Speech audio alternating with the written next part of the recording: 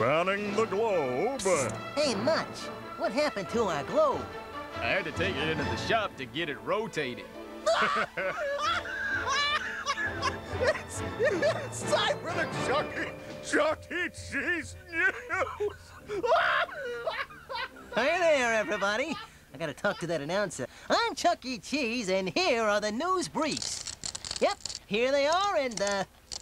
Hey, did someone put starch in my news briefs again? Gee, I really hate that. And speaking of things that'll make you sit up straight, here's Jasper T. Jowls, our rover reporter, with some exciting news. Thank you, Chucky. I'm on the scene of a big story here. There are police all around me, and I'm told that they are just about to collar someone who's been breaking the law. Wow, that is exciting. And we'll come back to Jasper just as soon as the police collar that criminal.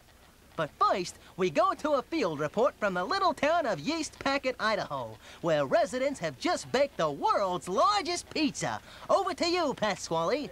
Yes, Chucky, it's a big day here in Yeast Packet because they've made one big pizza. I've never seen anything like it. It's huge, stupendous, colossal, magnifico. It's incredible. Amazing. Yes. Can, can you Mm. give us a more specific idea just how big the world's biggest pizza is? For sure.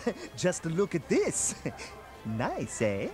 Uh, Pasqually, that doesn't look like such a big pizza. Chuck E, this isn't a pizza. This is just one of the slices of pepperoni. Mamma mia, this thing is big. Oh, and there you have it, folks. The world's largest pizza.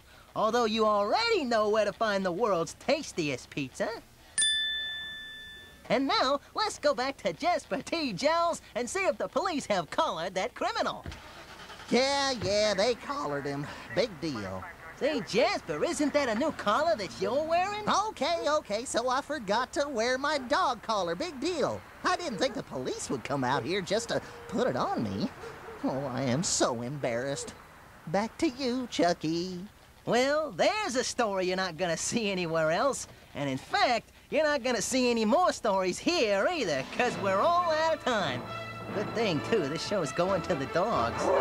So until our next report, this is Chuck E. Cheese saying, if something important is happening somewhere, it's news to me.